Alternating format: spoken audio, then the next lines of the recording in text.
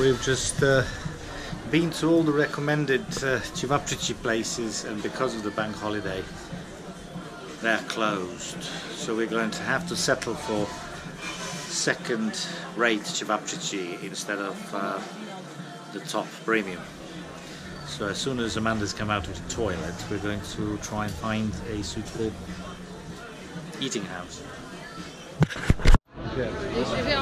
It's on. Uh, discussing the ankle splashback. Having to do a crouch down pee. Yeah. So we're have Gonna to. come back and not bubbly bubbly. Well, I don't know. For some cigarettes. Should we look? Uh, should we go through there and see if we can get through? Yeah. But uh, that's a bit of a, because it's it's, it's cold. it's to warm us up. Yeah, it's a bit chilly. Yeah.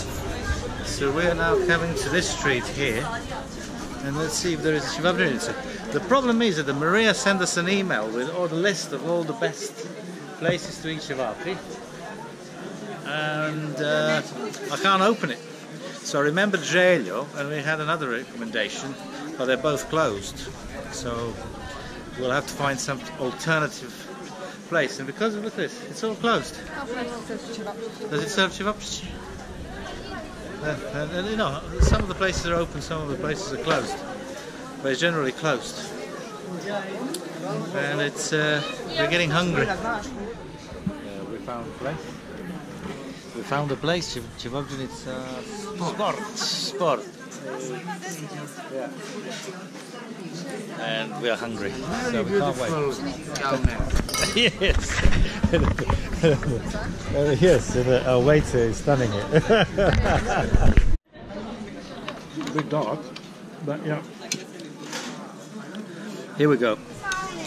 We are happy. It's good. Very good. It's very good.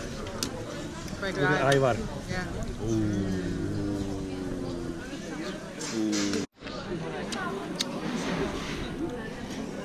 Oh, all gone.